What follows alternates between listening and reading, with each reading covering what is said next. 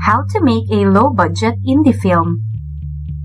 The beauty of indie films is that they are not even supposed to look like the multi-million dollar Hollywood blockbusters.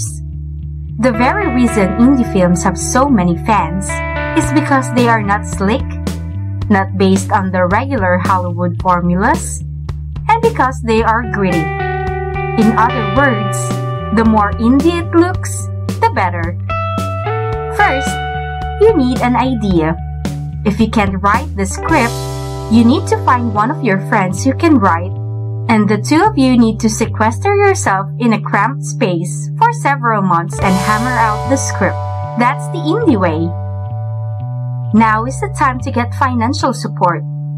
The indie method usually includes either fundraising online or maxing out several credit cards in hopes that your film is good enough to attract paying audiences.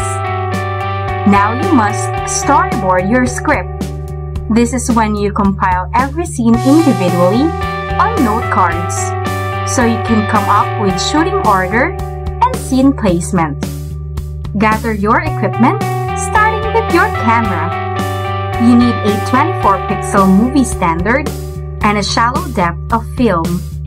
We think using a small camera as well could mix up the look of the film in a creative way. Look for actors.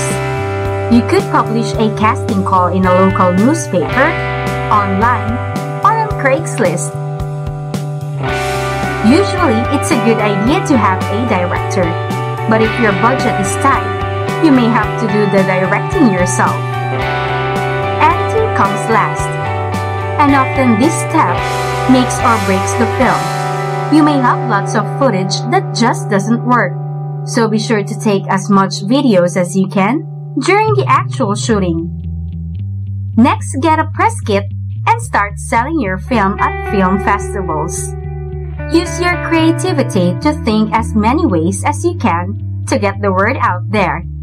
Break a leg! For the smaller camera footage, take a look at our amazing pen camera at www.ronsamazingproducts.com. See you at the movies!